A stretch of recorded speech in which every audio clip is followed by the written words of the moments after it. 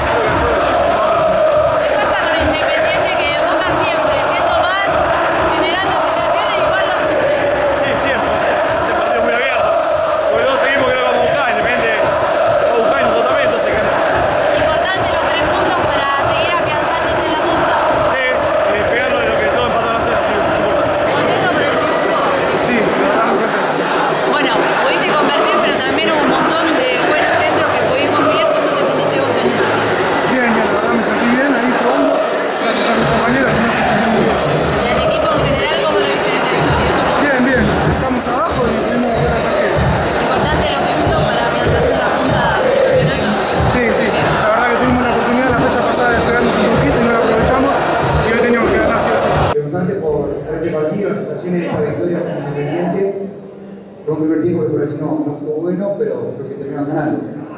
Primer tiempo arrancamos muy bien, porque tuvimos dos situaciones de mano a mano muy claras. ¿sí? La dos de Juan, una que le tira por encima a Hilario, la sacan de la línea, la otra que entró muy bien rompiendo la zona de los centrales y este, no, pudo, no pudo definir. Después se emparejó, a partir de ahí el partido se emparejó este el se puso de ventaja en una, gran jugada de Alvarado Ferreira por, izquierda, por, por, nuestra derecha, por la izquierda de ellos, que llegó hasta el fondo y, tiró el centro, no sé bien si pegó en algún jugador independiente, en algún jugador de Boca, pero una gran jugada de, del Mareu. Terminamos un primer tiempo con, el gol de Silva, de muy buena factura. ¿sí? En el segundo tiempo arrancamos creo que muy bien, teniendo eh, mayor agresividad en la recuperación de la pelota y, de uno de esos robos salió Juan desde el medio, Sánchez en, un mano a mano, lo pudo definir. Después tuvimos alguna acción más, cabezazo de viaje, la pelota de Rivero, claras para poder haber definido el partido con mayor este, con mayor diferencia. Creo que a lo mejor Independiente manejó un poco más la pelota que nosotros, pero sin ser, sin ser tan profundo como lo fuimos nosotros. Eh, sorprendió el cambio de Clemente Rodríguez.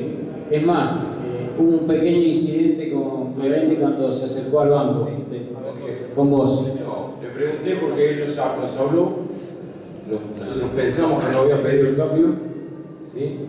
Por eso le preguntamos si nos había pedido el cambio, simplemente eso, no, no, no, no. Y él nos dijo que no, que nos preguntó cuánto faltaba, pero bueno, hicimos el cambio, tomamos la decisión, pasamos el Chepín y pasamos a Coraza, pero no hubo, eh, por lo menos de nuestra parte, no hubo nada, y no, creo que simplemente yo no lo escuché decir nada tampoco.